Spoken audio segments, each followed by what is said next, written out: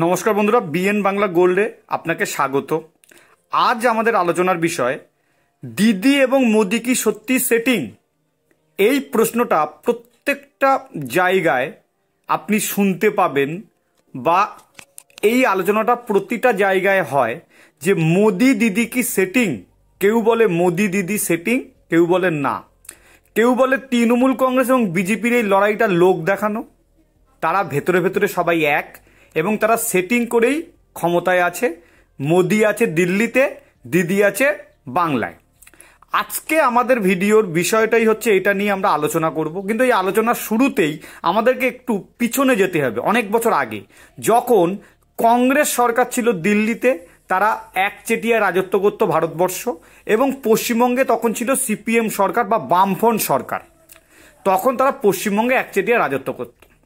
অনেক সময় অনেক ক্ষেত্রেই প্রশ্নটা উঠতো যে দিল্লি কংগ্রেস পশ্চিমবঙ্গের দিকে দেখতো না এবং তারা দিল্লি গদি বাঁচিয়ে রাখার জন্যে পশ্চিমবঙ্গে বামফ্রন্টের সাথে তলায় তলায় তারা হাত মেলাতো। অনেক ক্ষেত্রেই বামফ্রন্ট তাদেরকে সাপোর্ট করত, অনেক ক্ষেত্রে কংগ্রেস তাদেরকে সাপোর্ট করতো। এবং এই প্রশ্নটা কারা তুলতো? যারা কংগ্রেস করতো তাদেরই মনে এই সন্দেহটা জাগত এবং তুলতো। সেই কারণে সেই সময়ের কংগ্রেসের সভানেত্রী মমতা ব্যানার্জি কংগ্রেস ত্যাগ করে নতুন দল গঠন করেন তৃণমূল কংগ্রেস। তার প্রথম এবং প্রধান অভিযোগ ছিল যে কংগ্রেস পশ্চিমবঙ্গের দিকে তাকায় না বামপন্থীদেরকে ক্ষমতায় রেখেছে শুধুমাত্র দিল্লির গদি বাঁচানোর জন্য। সেই কারণেই কিন্তু তৃণমূল কংগ্রেসের জন্ম, আমরা সেটা সবাই জানি। এখন প্রশ্ন হলো, কংগ্রেসের জামানা নেই, বিজেপি এসছে, তারা দীর্ঘদিন ধরে ক্ষমতায় আছে দিল্লিতে। পশ্চিমবঙ্গে দীর্ঘদিন ধরে ক্ষমতায় আছে তৃণমূল কংগ্রেস। একটা সময় আমরা জানি তৃণমূল কংগ্রেস বিজেপির হাত ধরেছিল। মন্ত্রী পর্যন্ত ছিলেন মুখ্যমন্ত্রী মমতা ব্যানার্জি, তখন কেন্দ্রীয় মন্ত্রী ছিলেন রেলমন্ত্রী ছিলেন, কয়লা মন্ত্রী ছিলেন। তো তারপরে এখন নরেন্দ্র মোদী সরকারে আছেন। বারবার এই প্রশ্নটা ওঠে যে যত বিজেপি লড়াই করছে, সেটা হচ্ছে লোক দেখানো, তারাও চায় তাদের দিল্লির গদিটা বাঁচাতে।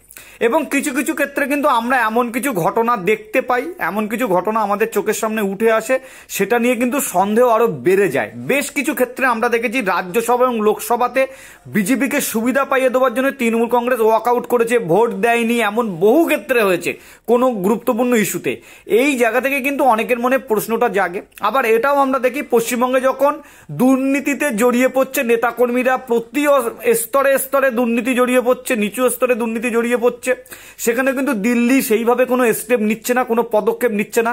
সিবিআই ইডি দিনের পর দিন, মাসের পর মাস, বছরের পর বছর তদন্ত করে যাচ্ছে, কিন্তু কোনো তদন্তের সমাধান সূত্র বেরোচ্ছে না বা কোনো তদন্ত শেষ হচ্ছে না।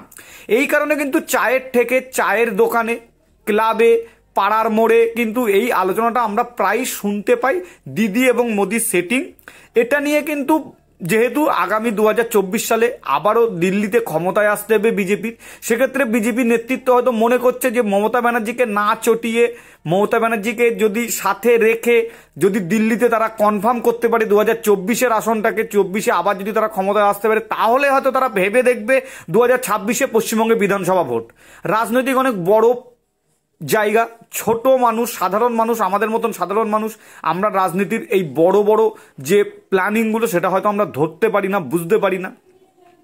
অনেক ক্ষেত্রেই কিন্তু আজকে আমরা যেটা দেখতে পাচ্ছি বা বুঝতে পারছি, হয়তো সেটার কারণেই বহু তদন্ত, বহু কেস পশ্চিমবঙ্গের, যেগুলো কিন্তু পুরোটাই ধামাচাপা পড়ে গিয়েছে। এমন বড় বড় কেস, যেগুলো নিয়ে প্রচুর তোলপাড় শুরু হলো, তারপর আর সেটা নিয়ে কোনো উচ্চ বাচ্চা নেই, না সিডির, না ইডির।